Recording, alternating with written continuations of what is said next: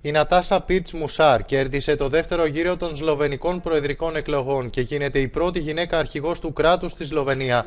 Η δικηγόρος και πρώην τηλεοπτική παρουσιάστρια επικράτησε τη συντηρητική πρώην Υπουργού Εξωτερικών Άντζελο Γκάρ.